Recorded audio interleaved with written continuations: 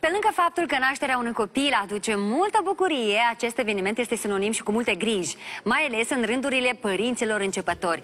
Erupțiile de pe piele ridică cele mai multe semne de întrebare, iar răspunsuri primim de la medicul dermatolog Irina Batârcea, care și ea a devenit de curând mămică și știe cel mai bine cum să răspundă la întrebările uh, mamelor și taților uh, îngrijorați. Salut, bine ai venit la noi! Bine, Ia loc aici, uh, atunci când apare un copil, stai lângă el, uh, te uiți cum respiri respiră, cum, cum doarme, cum mănâncă, dar cel mai des analizez pielea uh, bebelușului. E foarte fină. Zici, zici că, că este puf de, uh, de lebădă. Care este cea mai mare problemă cu care se confruntă uh, părinții la mai ales nașterea primului copil? Pielea nou-născutului, ea este un organ care este imatur dezvoltat la naștere, adică de aia pe parcursul primilor trei ani se dezvoltă, putem spune așa. Și la început este, are o roșață mai evidentă, un eritem mai pronunțat, care foarte des pe părinții îi sperie acest eritem. Uh, la fel, în primele luni de viață apar acele manifestări cutanate care sunt ele fiziologice, aș putea spune eu, uh, cum este acea acne neonatală, acele mici bubițe care sunt, apar pe față. Uh, la fel, iarăși, în primele luni de viață pot apărea acele cruste de lapte care sunt foarte des la copilaș pe, pe crește, pe scalp. Uh, respectiv uh, din manifestările fiziologice, ceea ce se întâlnește la părinți și la copii și n-ar trebui să le, să-i sperie pe, pe, pe părinți, uh, sunt um, hiperplazia glandelor sebacere, așa niște puncte albe mici care apar mm -hmm. pe mhm. nas, pe zona mm, împrejurul obrajilor, care la fel sunt erupții mm, fiziologice care o să treacă normale. în timp. Normale. Nu trebuie să ne îngrijoreze. Trebuie să avem mare grijă la ce folosim, ce, ce folosim pentru că uh, foarte multe mămici folosesc uleiurile naturale, care sunt foarte, foarte grele. grele. Păi da, și ceea ce, iarăși la copii, acele glande care secretă transpirația nu sunt dezvoltate și la momentul ce îi punem acele ulei mult mai, fac ca o peliculă, să zicem, mai grase, ele um, sporesc apariția acelei sudamine sau erupțiile de la căldură care apar pe torace, pe față, pe zona decolteului și respectiv uleiurile nu sunt uh, opțiunea cea mai bună care putem să o alegem pentru pielea bebelușului nostru. Da, acum suntem în vară, în perioada în care foarte multe alergii de la scutec apar la, la copii. Ce facem în cazul alergiilor cauzate, iată, din cauza scutecului? Eritemul fesier, așa zisul, sau dermatita de scutec, este o reacție alergică care apare foarte des în cazul când urina a fost într-un contact mai lung cu pielea fină a bebelușului. Primele semne se observă cel doar o roșeață fină, și atunci ar trebui să încercăm să folosim acele creme care conțin uh, oxidul de zinc. Ele au un efect protector, să zicem, adică ele se pun la fiecare schimbare de scute, că îi punem aceste creme pe bază de oxid de zinc, care fac un, uh, un mediu protector și protejează pielea bebelușului de scutec. Respectiv, uh, igiena cât mai corectă, schimbarea scutecului cât după, mai des.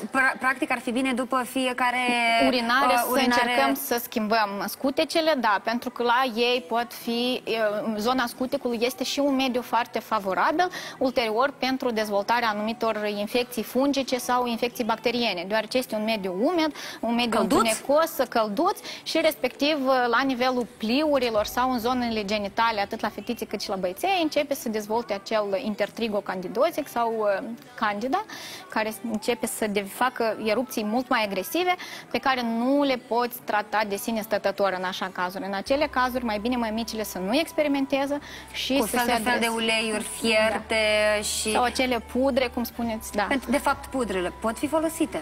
Nu sunt recomandate la moment deja pudrele pentru că acea zonă este și așa un pic umedă și se formează acea macerație la mm -hmm. momentul ce se folosește pudra. Vorbim despre erupțiile uh, de piele a copiilor, a bebelușilor și în special ce trebuie să facem și cum să alegem produsele de îngrijire. Pentru că în farmacii avem o groază de oferte și nu știm că uh, e una, e alta ce de fapt nu trebuie să fie pe eticheta unui produs pentru îngrijirea copilului? Atunci când alegem acele produse pentru copii, trebuie să, să, să fie testate dermatologic, adică trebuie să fie etichetat că sunt produse testate dermatologic și să nu conțină parabeni, să nu conțină parfumurile, pentru că ele sunt anu, iritanți pentru tegument, să nu conțină uleiurile, pentru că uleiurile sunt, erup, pot provoca erupții comedogene, adică facă o peliculă și provoacă apariția anumitor leziuni noi la nivelul tegumentului.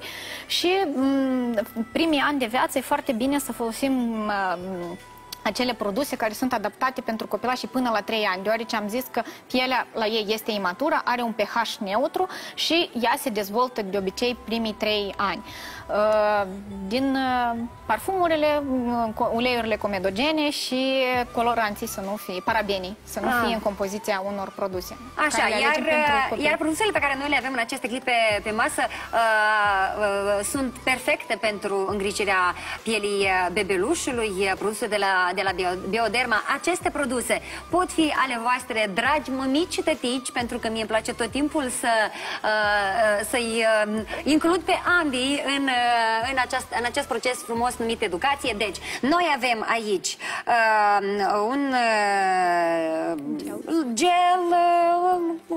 de, de, de spălat. Aici avem un șampon, deja șampon așa pentru, pentru copilaj. Uh, și aici este lăptișor uh, hidratant. Acest set de produse poate fi al vostru. Intrați pe pagina noastră de Facebook ca să aflați uh, condițiile. În curând vom plasa uh, o poză și puteți să, să participați și să le uh, să le uh, câștigați și să vă folosiți de ele ca cel mic sau cea mică a dumneavoastră să crească un copil sănătos. Totuși, care este uh, uh, semnalul cel mai acut când pe bune trebuie să mergem la medic, să nu deranjăm medicul la fiecare pas și să ne creăm o paranoia la, la nivel de, de rutină?